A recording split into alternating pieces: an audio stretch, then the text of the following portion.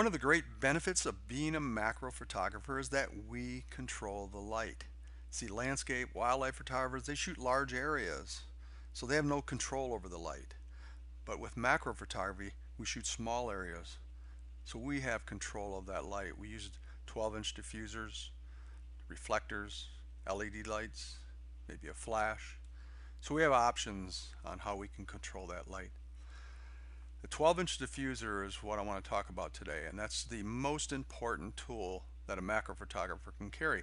And I'm always shocked when I go to macro conferences or photo conferences or workshops and, and talk about this subject and how many people that are unaware of this important tool. Now this is a Dames rocket flower and it's supposed to be all purple. But as you can see the top portion and some of the mid portions uh, have lost their color. They're washed out. Now you may assume that maybe this was shot on a sunny day. Maybe the harsh light blew out the colors, but no, you'd be wrong. This is a cloudy day. And you're thinking, hey, it's a giant diffuser already up there. Why do we need another diffuser? Well, even on cloudy days, that light is harsh enough and reflecting into our subjects that are running parallel to the sky and blowing out those colors.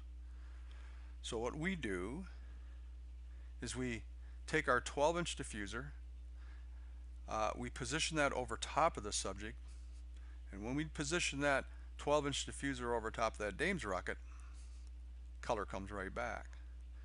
So you see the image on the left, no diffuser, image on the right with the diffuser. Amazing difference. It's like a magic trick when this happens. It's, it's unbelievable when you see it happen before your eyes.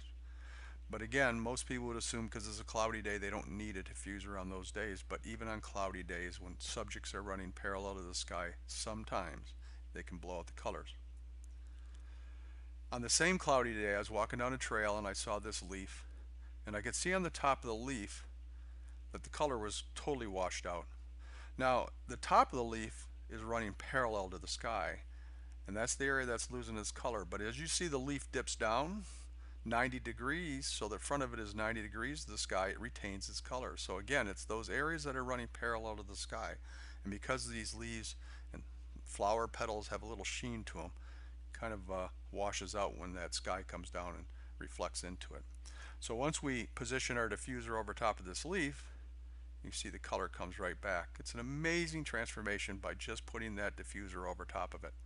What's nice about the 12 inch diffuser, and I've never used anything bigger than the 12 because we're shooting small areas, but that diffuser can fold down into four inches and fit in my front pocket of my pants.